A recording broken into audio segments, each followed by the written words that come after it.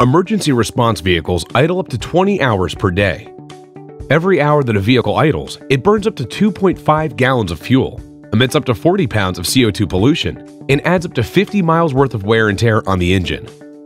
That's a lot of unnecessary waste, emissions, and stress on the vehicle, which equates to more pollution for our environment and money lost for organizations.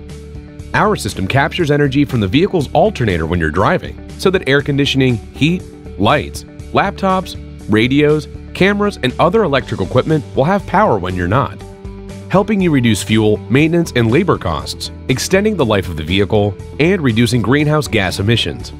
Our system can be applied to any vehicle requiring mobile power and can pay for itself in as little as six months, while also reducing waste and vehicle maintenance. So stop idling and start saving today.